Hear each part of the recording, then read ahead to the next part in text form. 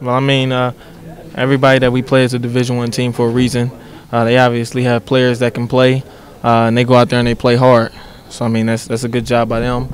Uh, I think sometimes when we look at the team that we play, we might tend to um, not play as hard as we need to, or not execute or concentrate like we need to, and that's something that we need to get better at.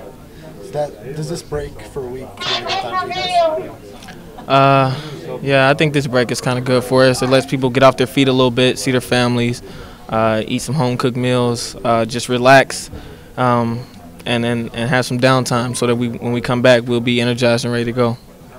Tell us about this new offense. Uh, more emphasis on the guards penetrating, right, and kicking it out. Uh, yeah, well, we have quick guards, um, and we just figure if we spread teams out, uh, let our guards continue to get paint touches, that that we'll have uh, we'll either get to the line more, which we did tonight, or uh, we'll find cutters or shooters, or or it'll present a layup for the guards. So I mean, that's just something that we've been working on the last couple days in practice, and that's something that worked in the second half this Radford game. Did it take a half or take a period of time to kind of get it in sync a little bit? Is that why you struggled to score in the first half? You think? Yeah, I was just talking to Coach Hugs about that. Um, just telling him that that I think the offense is good, and I, I think it just took us a half because in the first half. Um, I mean, we were still. I mean, we just worked on the offense. We just put it in, uh, so it was still new to us. But in the second half, after the game calmed down a little bit, people were able to get in their spots. Uh, it was a little bit easier to make plays out of it. The uh, emergence of Aaric Murray has been rather profound here over the last couple of games. Just talk about, you know, what he brings in terms of everything he can do. Um, well, he does so much for us.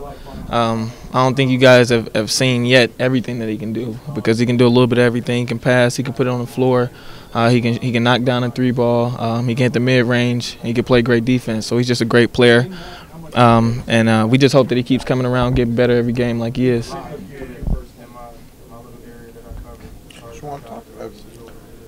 was kind of a weird situation for him where he doesn't join you guys in Michigan and then you guys come back and then now he's starting to play really well.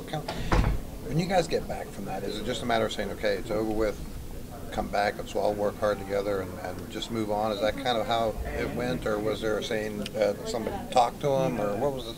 How does that work? Um, well, I mean, when you have to miss a road trip, I think that's that says a lot right there. So I think that was just a pretty much a wake up call. Mhm. Um, so I mean, he's been great since then. He's been been in early every day shooting the ball. Uh, he's been enthusiastic in practice.